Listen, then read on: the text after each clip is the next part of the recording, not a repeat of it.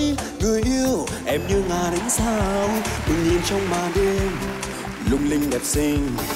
Những phút thần tiên bên em lòng ngất ngây. Trao dâng trong lòng anh, đam mê cuồng say. Mình yêu nhau đi, và yêu nhau, hoài nhé em. Kề vai bên nhau, cùng say xưa khúc nhạc tình. Mình vui đêm nay, và trao nhau tình đắm say này em yêu ơi, tình anh ngàn lời muốn nói. Rằng anh yêu em. Yêu ngay phút ban đầu. Tình cờ mình quen nhau. Trong anh mất em trao. Em yêu ơi. Yêu em nhất trên đời. Và chỉ mình em thôi trong trái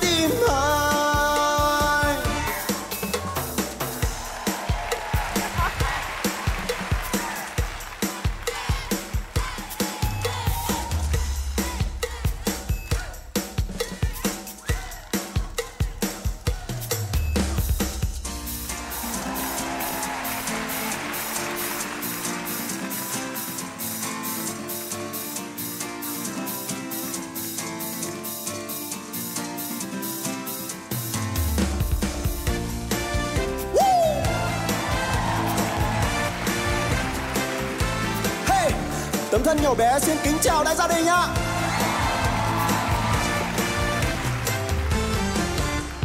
Hỡi người yêu, em như ngà đánh sao, bừng lên trong màn đêm. Lung linh đẹp xinh, những phút thần tiên, bên em lòng ngất ngây, trao dâng trong lòng anh. Đam mê cuồng say, mình yêu nhau đi, và yêu nhau hoài nhé em. Kề vai bên nhau cùng say xưa khu nhạc tình.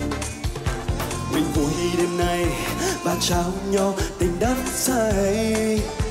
Này em yêu ơi, tình anh ngàn lời muốn nói rằng anh yêu em.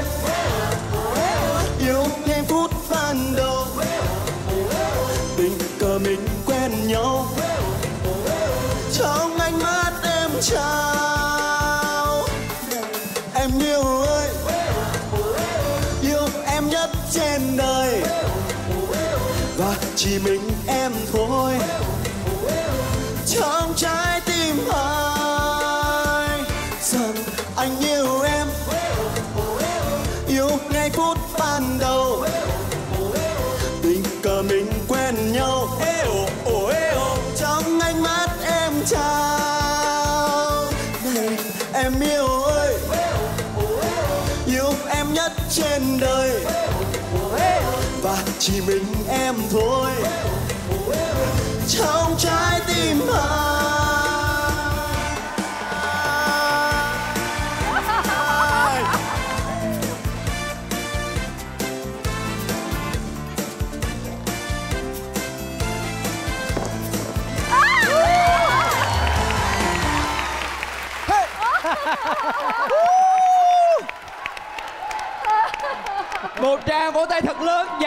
cho tấm thân nhỏ bé anh bà Ngọc Sơn.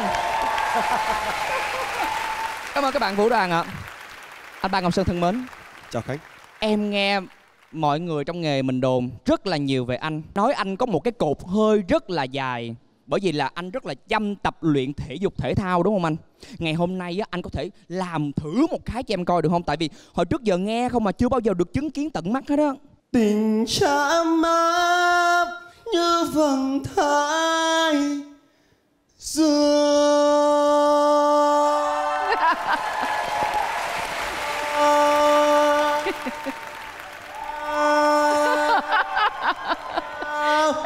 Wow. Không phải. Nếu mà làm anh ba Ngọc Sơn cái hơi dài á Thì phải là cái câu mà Và này con yêu ơi Con hãy nhớ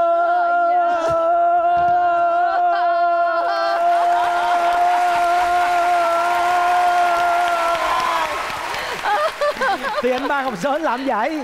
Tức là anh nói hai cái câu đó anh luyện cái micro xuống đất á. Để cho mọi người thấy. Rồi con Đúng kêu mọi người đúng nè. rồi.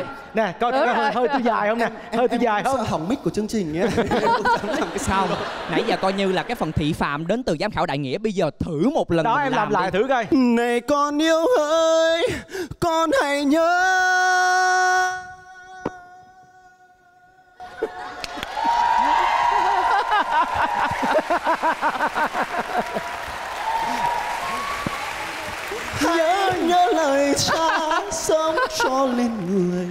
Và con ơi chớ. Cái chỗ này nữa nè. Chớ. Luyện micro lần nữa. Luyện micro lần nữa.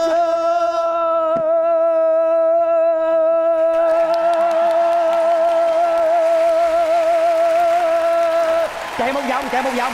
Đúng rồi chạy một vòng. Trời chạy ra hát cái câu sau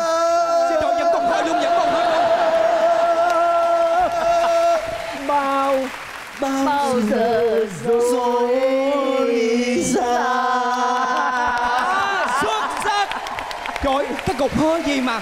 Trời hay quá à. Hơi dài quá luôn anh Ba Ngọc Sơn ơi. Quá Trời Khánh. Khánh hồi nãy anh nghi lắm á nha. Lúc mà anh ba Ngọc Sơn á mà ca cái hơi đó Chạy vô trong Anh nấu bữa cơm anh ăn xong anh chạy ra cái hơi vẫn còn đó. Trời ơi. Không em còn đang tình nghi là anh ăn cơm Sao anh còn đánh răng rửa mặt. Anh mới ra đây một lần nữa. Đúng rồi đó hơi dài lắm Chưa kể không anh cái còn đó ngủ một giấc cái đó kìa. hơi quá. Vâng à, một tràng tay thật lớn dành cho Phạm Việt Thắng. Em cảm ơn mọi người rất nhiều Quá xuất sắc rồi Con ngồi ở bên dưới Con coi bạn.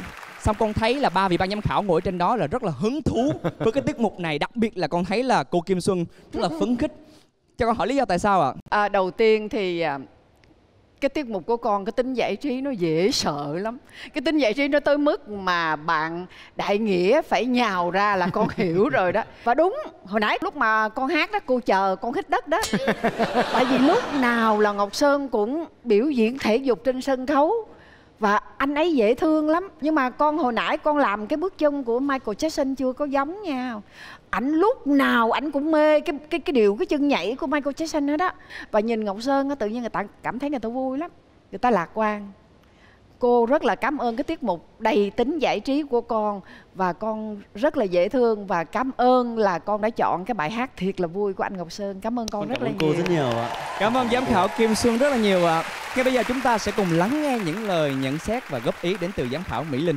Mình có thời gian đi biểu diễn ở châu Âu một tháng rưỡi cùng đoàn trong đó có anh Ngọc Sơn. Thì anh Ngọc Sơn rất trong sáng và lúc anh ra sân khấu anh làm người ta rất là vui. Anh ấy cười anh ấy khóc rồi anh ấy anh ấy diễn và anh ấy thu hút được tất cả khán giả những người lao động ở bên châu Âu. Nên là họ rất là nhớ nhà. Thì anh Sơn anh ra anh hát là anh ấy anh làm cho mọi người thỏa mãn cái nỗi nhớ rồi mọi người được đến gặp nhau rồi vui lắm. Và cái hay nhất của em là em mang chị trở lại những cái thời gian cái đấy. năm tháng.